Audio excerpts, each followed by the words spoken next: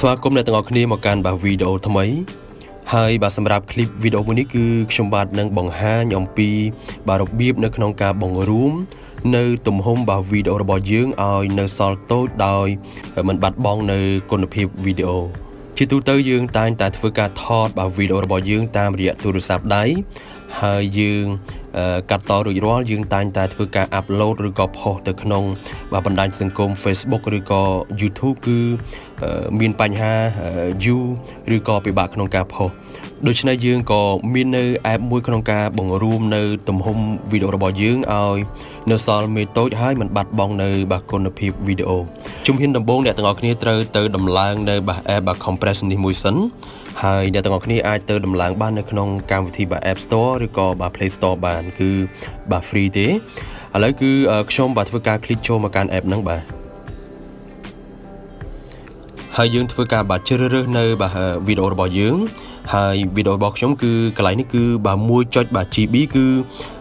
ស៊ីមេខ្លាំងមែនទែនគឺរហូតដល់បាទ1 GB អញ្ចឹងគឺខ្ញុំធ្វើការបង្រួមនៅបាទคลิปវីដេអូមួយហ្នឹងឲ្យនៅសល់បាទមេតូចឥឡូវគឺយើងធ្វើការបាទចុចសញ្ញា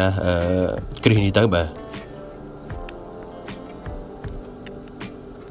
វាក៏បង្ហាញយើងបាទនៅបាទផ្ទាំងថ្មីមួយទៀតបាទនេះគឺជា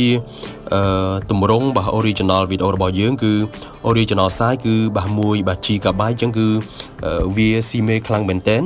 ហើយបញ្ជាក់គឺបាទ GB គឺធំជាងបាទ megabyte នេះគឺ 1 GB ហើយនេះគឺទំហំនៃការដែលយើងចង់បង្រួមនៅវីដេអូរបស់យើងឲ្យមកតូចវិញបាទត្រូវការក្រឡេកមកមើលនៅខាងក្រោមទៀតគឺឃើញពាក្យថាបាទ compression rate TO នេះគឺយើងអាចអូសនៅកន្លែងនេះបានបាទ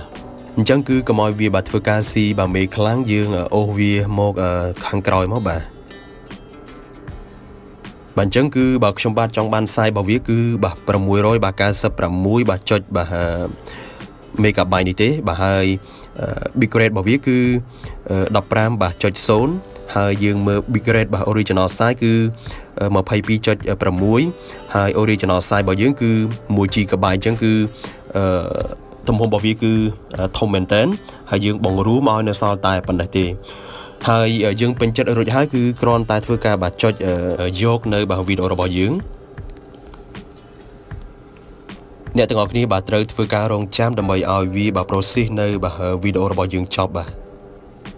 អូខេឥឡូវគឺវាធ្វើការ process រួចរាល់ហើយគឺយើងបាទធ្វើការចុចថយសិនដើម្បីទៅបាទមើលនៅបាទវីដេអូរបស់យើង យើងបាទចូលមកកាន់បាទ app photo របស់យើងមកបាទនេះគឺជាទម្រង់ original ហើយនេះគឺជាវីដេអូដែលយើងធ្វើការបង្រួមនៅបាទ file របស់វាគឺនៅច្បាស់បាទដូចគ្នាទេបាទ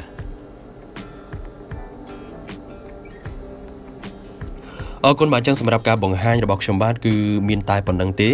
កុំភ្លេចជួយបាទចុច Subscribe ដើម្បីទទួលបាននៅបាទវីដេអូថ្មីៗអរគុណបាទសម្រាប់ការទស្សនា thank you